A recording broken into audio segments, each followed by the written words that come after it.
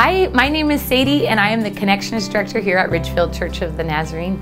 I hope that you have been enjoying this season of Pray First and that you just haven't grown in knowledge about God, but that you have grown relationally with God and that you've invited Him into all of those pockets of your day to day things that normally you would just kind of forget that God is even around, but instead He's been present with you during those times.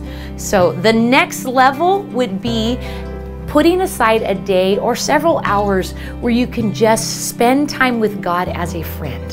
And so I'm going to tell you a little bit what that looks like. I went paddleboarding with God. And I know that sounds silly, but I went paddleboarding with God. I, there was nobody with me. I didn't even take my dog. I went by myself. And um, in that, I could enjoy the sound of the water and, and, the breeze in the mountains. And I didn't see anybody else out there at all. Um, I ate some of the blackberries along the river. Um, the whole time, I could feel God with me.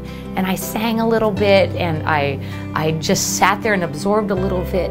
Um, and it didn't have to be a conversation, it was just enjoying the presence of God Almighty. Um, so it kind of reminded me of, of the time when Elijah goes out into the wilderness and he goes out and a wind rips through the mountains and then an earthquake shakes the mountains and then a fire passes through and it says that god was not in any of those things but then there was a still whisper and it says what Elijah does is he pulls his cloak over his head and he, he hides himself. Because of the presence of God, God was in that whisper. And the presence of God is both terrifying and intriguing.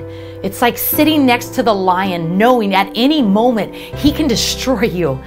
Yet he longs to be with you, he longs to sit with you.